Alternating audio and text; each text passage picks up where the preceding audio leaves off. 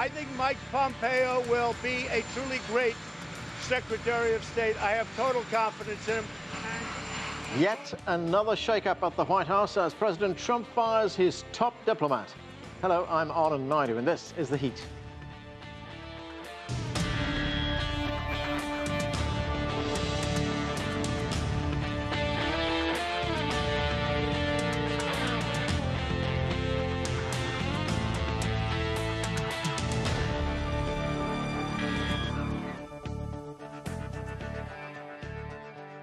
That they have been at odds over a number of policy issues was an open secret in Washington. Still, it came as a bit of a surprise when US President Donald Trump took to Twitter to announce the ouster of his Secretary of State, choosing CIA Director Mike Pompeo to replace him. Rex Tillerson spoke briefly following the announcement of his pending departure. My commission as Secretary of State will terminate at midnight, March the 31st. Between now and then, I will address a few administrative matters related to my departure and work towards a smooth and orderly transition for Secretary of State designate Mike Pompeo. There is much to talk about. Let's get right to our panel. Joining us here in Washington is the Executive Director of the Answer Coalition, Brian Becker. With us from Tampa is author and commentator Dan Perkins. Paolo von Schirach is the President of the Global Policy Institute here in Washington. And also with us is my colleague CGTN's Nathan King. And Nathan, another day of drama in Washington. it seems isn't a day that goes by with something dramatic happening. Rex Tillerson fired, Mike Pompeo the replacement.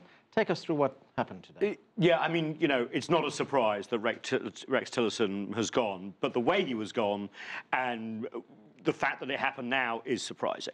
We know that there's been a lot of criticism of him almost from day one uh, by the US president, almost like he doesn't like anyone being on the world stage if it's not Donald Trump. Uh, and he's been criticized over everything to do with his support for the Iran nuclear deal, uh, to his wanting to negotiate over the DPRK. Look how that's turned around. Um, uh, to other matters behind the scenes, for example, not wanting a big fight in the Middle East uh, with Qatar and, and, Saudi Arabia and others. And at each turn, he has been basically uh, out-tweeted by the president. But also, this is a tough job from the start. Remember, the portfolio uh, of Secretary of State is for foreign affairs, but some jobs have been given to Jared Kushner, some uh, to other people. Uh, the president freelances on his own. So we knew this day was coming. Why he was fired now is the open question. He just finished a very grueling Africa tour yeah. and then basically found out as he landed. There was a report that this was in the pipeline in November last year. Well, it was because he called, reportedly, although many reporters have found this out, that he called uh, uh, President Trump a moron. Uh, he wouldn't be the first to do that within his administration, but he was caught doing it. Um, uh, but the relationship has never been warm. But then suddenly he's been giving interviews over the last couple of weeks, and in Africa, and on the plane in Africa, to State Department journalists, all saying that he expects to be uh, there throughout uh, 2018. And, you know, it, you don't send your Secretary of State on a tour to Africa where you have to mend relations because of things you've said as president, uh, and then want to fire him while he's basically essentially doing it. So the question is what happened, and uh, the rumor swirling Washington today is because of uh, his pointing the finger at Russia over the death of this former agent in London uh, with chemical weapons, and the White House wasn't even ready to point the finger at Russia uh, 24 hours ago, and this may have been the break. Paolo, why do you think Rex Tillerson lost his job? Was it personality differences, major policy differences, or a combination of all of Look, that? Look, I think it's really a combination of both. Uh, I think uh, that uh, Tillerson came to the job with his own aura and with his own international cachet of negotiation, having negotiated over so many years as the CEO of ExxonMobil, mega deals around the world, including Russia, by the way, where there seemed to be, at the time, at least a fairly warm relations with, uh, with Mr. Putin when, when Exxon was, uh, was uh, quite present in the, in the energy uh, scene in, in Russia.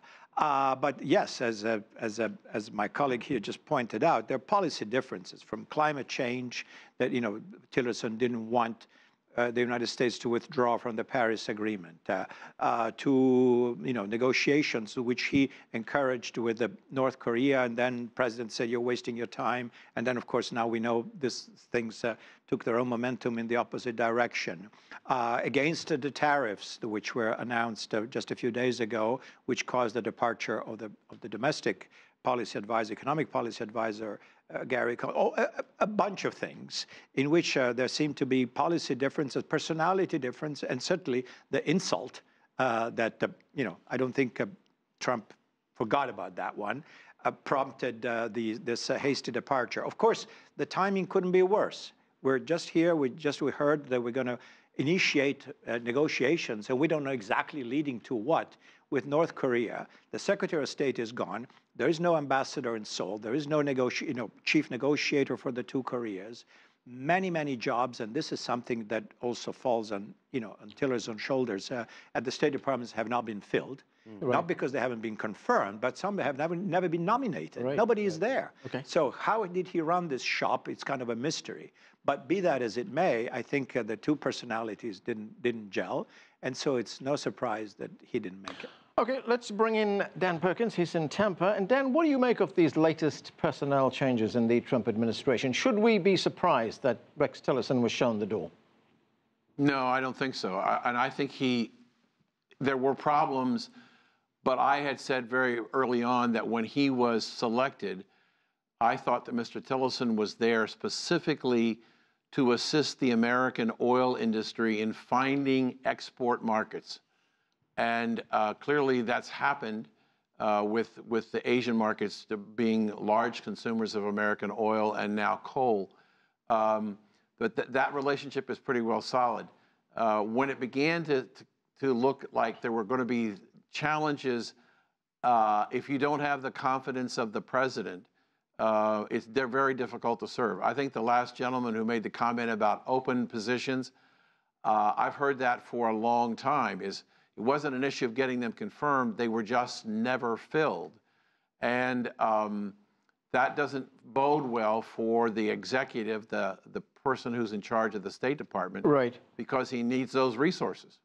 Dan, personality difference is one thing, policy differences as well, but look at the image that this sends to the rest of the world. I mean, uh, is it fair to say that this looks like a White House that's in complete disorder, in complete chaos?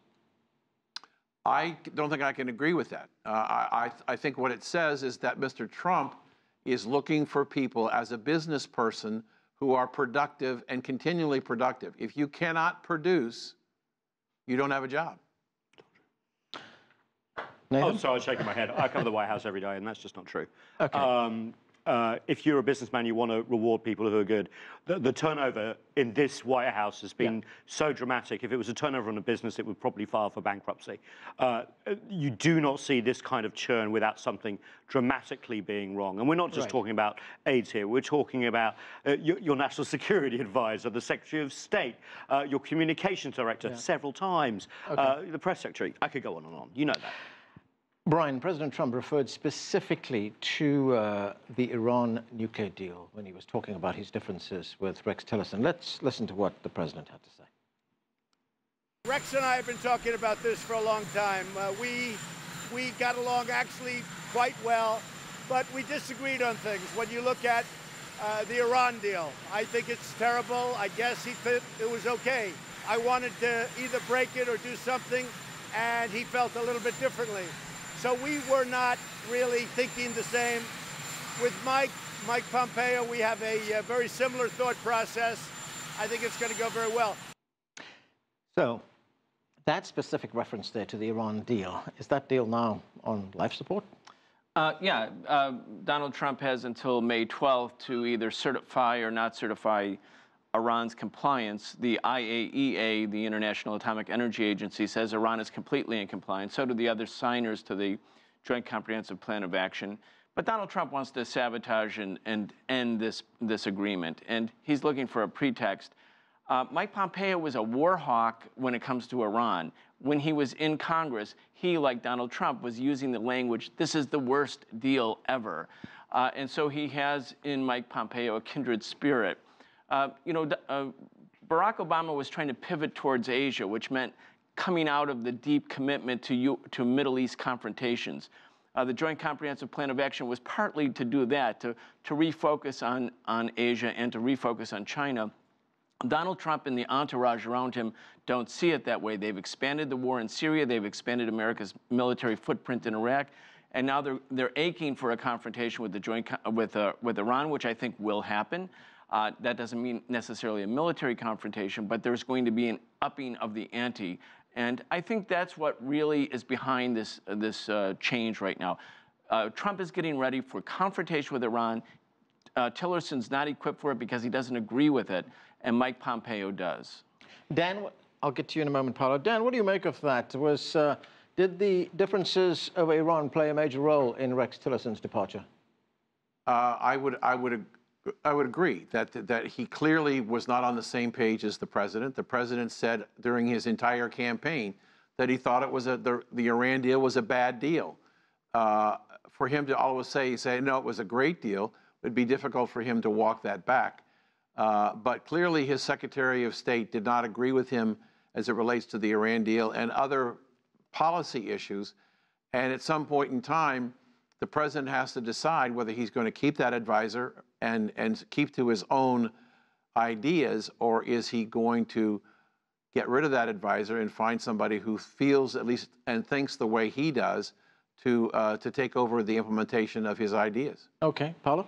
Well, it, here's the thing. You know, you, it's nice to have a kindred spirit, you know, a state that thinks just like the boss. That's great. And I, that makes for better harmony, perhaps a more you know, a clear, uh, if nothing else, uh, you know, position of the United States uh, vis-a-vis -vis the rest of the world. It's not that one day the White House says one thing, state says another thing, defense says another thing, the ambassador to the United Nations yet another thing, which has been kind of the motif of this administration. So the fact that, that uh, Mr. Trump has just hired himself a Secretary of State who thinks like him, okay, maybe that's a good thing. It's an However, apprentice. He's an apprentice. Indeed, yes, until, until he gets fired too. But here's the thing. Hmm. What is the end game? I really fail to understand what it is. Mr. Trump has said at the very beginning when he was campaigning, etc., enough of all this stuff he was against, and he's on record of being having been against the war in Iraq, which indeed turned out to be a fiasco.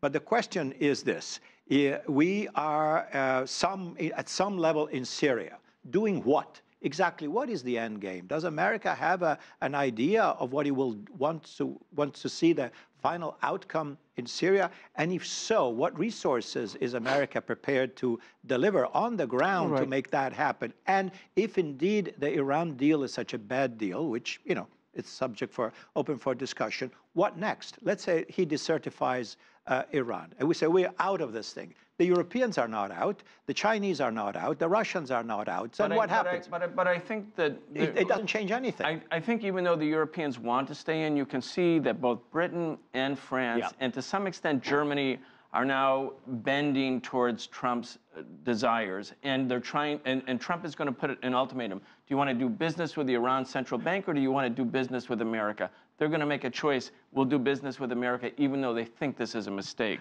And, and, and what mm -hmm. the plan at the moment is, is to basically add to the um, uh, joint protocol uh, something on missile defense, something on uh, missiles uh, from Tehran, something on their behavior in the region that isn't binding in, in that already agreed to document, but is somehow separate, signed by uh, the powers but, that but signed on. And that may well happen. And that, the Iranians won't accept it, but France and Britain and perhaps Germany will go along, and that will be I, I the shattering of the with, deal. Yeah. I wouldn't count on it. I wouldn't say, oh, they will go along. They, they, so far, all the noises we heard from Europe is that they will not go along. Now, they're, you know. I know the French say that. Uh, Macron says some very positive things about it. Yeah, yeah. but still, here's the thing. Uh, the United States uh, starts with the idea we are disengaging from conflicts, from from uh, from the Middle East. We've done too much stuff. Uh, right. We know we want to yeah. take care of ourselves at home, etc. Right. And then we are in. We're redoubling in Afghanistan. We are. We say we're going to do things in Syria. We don't know with what. And then we are going to engage head on with Iran. This is really a, a complete uh, a switch on the positions of the president.